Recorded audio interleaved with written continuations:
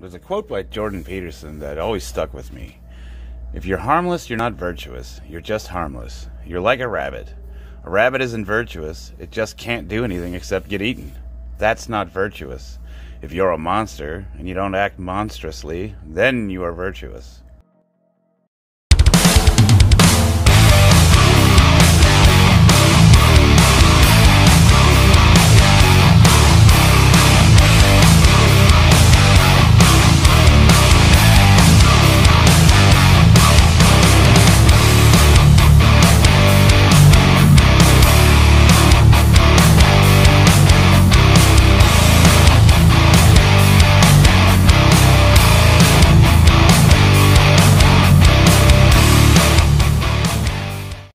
Today's press day, and I have a pretty simple routine planned. I'm going to do three warm up sets and a couple of working sets, and then I'm going to go into accessories. Uh, what I'm focusing on today is I wanted to kind of show the difference uh, between benching without an arch and benching with one. So, what I have planned is I'm going to warm up to 225 pounds on the barbell, and then I'm going to do a set to failure using as little arch as possible with my feet flat on the ground with the traditional standard flat bench. I'm going to rest for six minutes and then I'm going to do another set to failure using my standard uh, platform competition form, which is a pretty pronounced arch, feet tucked under. And I wanted to illustrate for uh, people that think that there's a huge difference uh, between the, the benching styles and that if you bench with an arch, it's not a real bench, you're cheating, it's fake. And you'll see, if you look at the videos, you'll notice that the range of motion isn't that different. Unless you have such a pronounced arch that you're like some kind of circus freak where you're contorted and your chest is pointing straight up and you have your arms set as far as they can go out on the bar so you only have two inches uh, range of motion. For most people, the difference between benching with a really pronounced arch and benching with a flat back is a couple of inches at best. So really, does that make me, mean that it's not a lift? I mean, I hear this argument all the time. And that's without even going into the specifics of why you would want to do one or the other to begin with. I have noticed that I performed all my warm-up sets with a relatively flat back and my feet out. Uh, this is a 175 and I'm getting ready to start my first AMRAP. And now I'm going to bench 225 with a flat back for as many as I can. I wind up getting 17 reps. That's pretty good. Uh, it's not the best. My best is 21.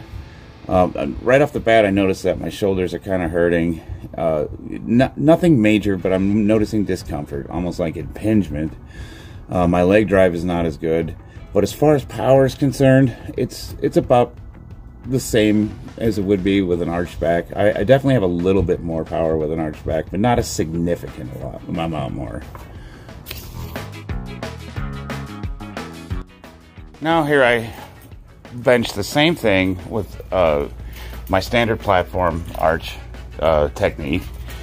I feel like my shoulders are my shoulder blades are tucked better. My shoulder pain is completely alleviated. Everything's tighter. I have way better leg drive. What I'm doing for leg drive is I'm pressing my heels into the ground when I'm pushing the weight up. Uh, I only got 18 reps, so that right there, that's more than the last set. So I'm stronger. Uh, but I just did the previous set to failure. So how much stronger would I have been if I had done this one uh, without any fatigue. I probably could have gotten 2021. So there's a little bit of a increase in my ability to push weight. So now that I've done some high rep benching, I want to go into a little bit of stretching uh, because I have been kind of dealing with uh, bicep uh, tendonitis.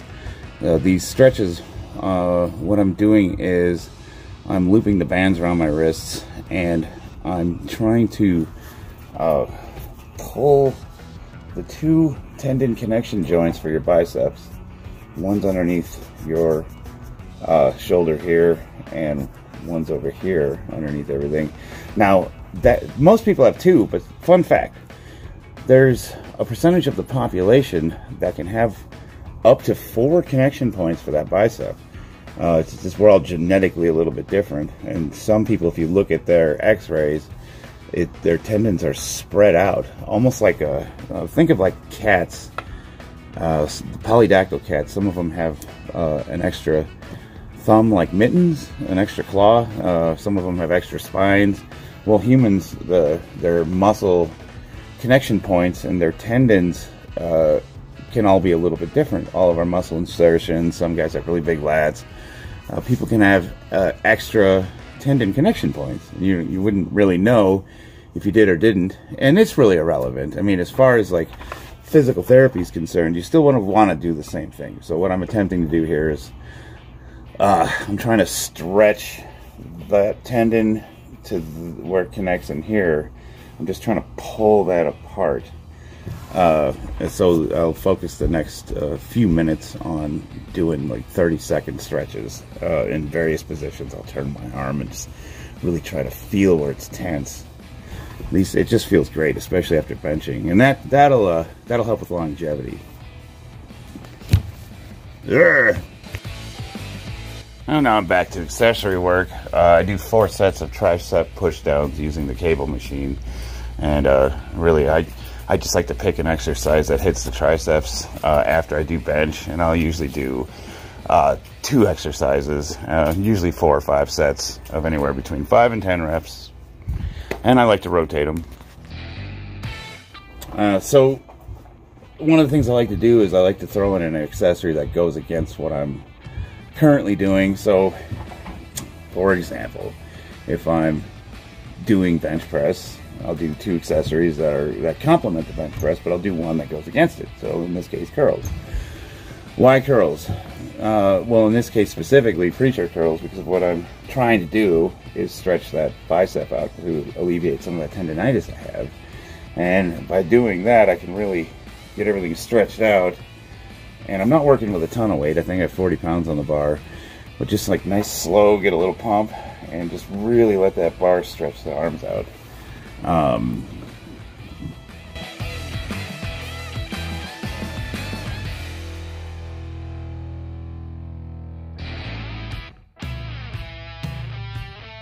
For my second and final accessory, I decided to do heavy dumbbells. Uh, I worked up to 100 pounds for set of 10. I accidentally deleted that clip, but I posted it earlier uh, in one of my shorts. So I, I did do it. But uh, what I wanted to highlight in particular was the way that I get the weights into position. Now for this set, I'm going uh, fairly wide and I'm trying to get a good stretch of the pectoral muscles. So I'm bringing the bars down as, just past my chest, and I'm really going for full range of motion on these. Now, sometimes the weights will become too heavy to set them down, but I really encourage people to get into the habit of not dropping the weights unless they have to. They become so heavy you just can't set them down because uh, it'll damage them. I don't know if you've ever seen like the 100 pounds at some commercial gyms that are a little bit bent. It's because people drop them. Uh, I sit up with the weights by setting them on my thighs, and I just sort of use the weight to rock myself up. So watch how I take these weights. I pick them up, I set one on the thighs, and I scooch them up as close to my waist as I can get them. And then I lock everything in, and I'm holding the weights like this. I'll rock back with them with my elbows tucked in and locked.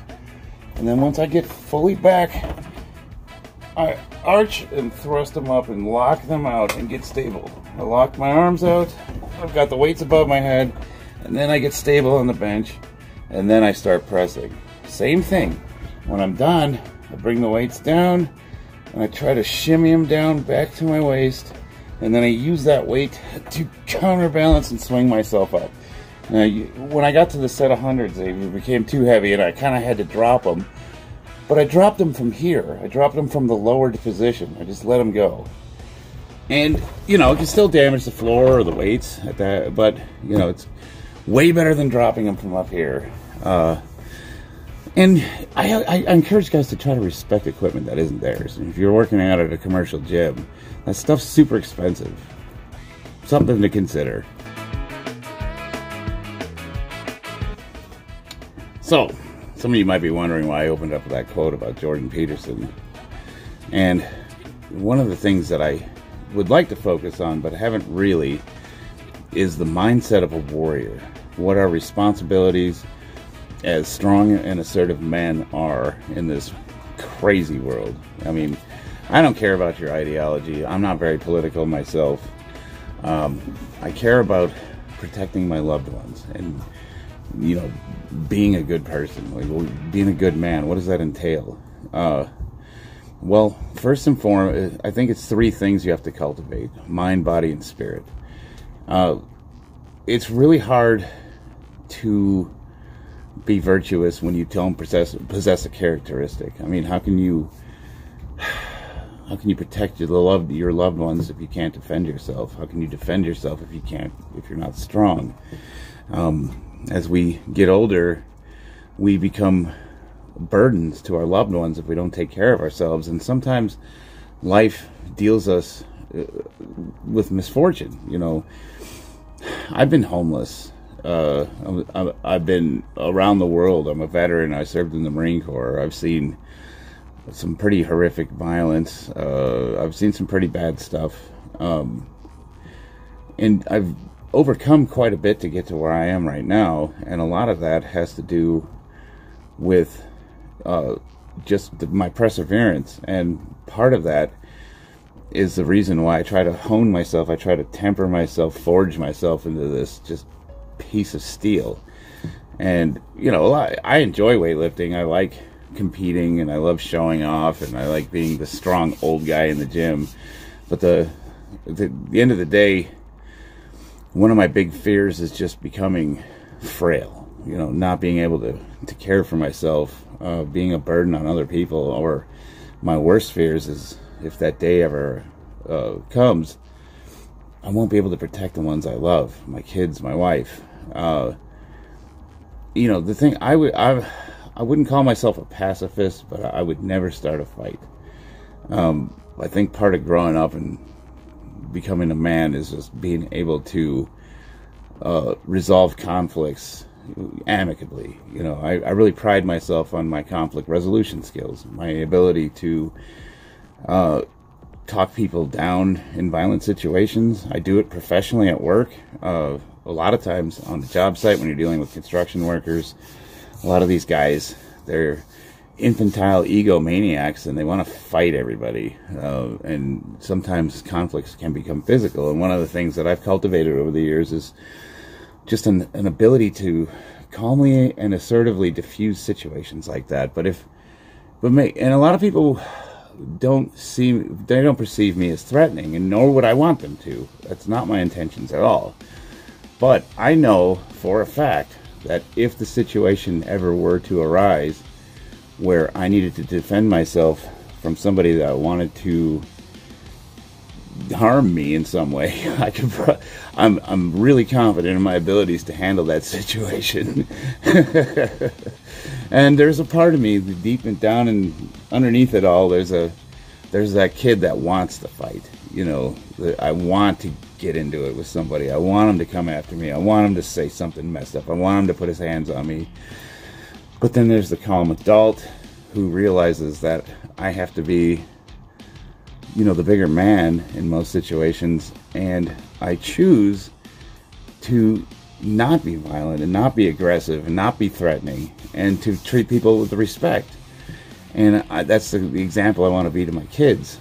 But it all stems from a lot of guys I've noticed weak men, men that aren't physically able to, to carry themselves, or men that are afraid of getting hurt they're they, they are often resentful and they become very passive aggressive and weak men can easily go down the road of becoming evil men you know vindictive plotful they're your friend they're your they're friends to your face but they secretly despise you and they're going to do things to either assassinate your character or or harm you in some way because they can't confront you physically. And I've noticed that men that are confident, men that, that can box, men that can, uh, you know, that, that do MMA, uh, weightlifts, strong guys, they're usually not looking for a fight because they, and they're not, they're not back down so easily. They don't allow people to cross their boundaries.